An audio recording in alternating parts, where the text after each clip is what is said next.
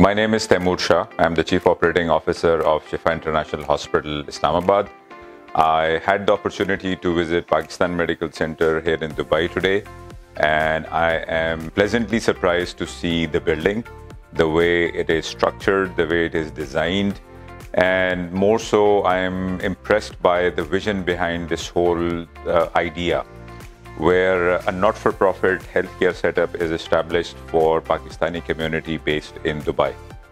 I've been told that it's one of probably the only not-for-profit health center in the in the country, and um, and managed for Pakistani community. That is an impressive uh, feat.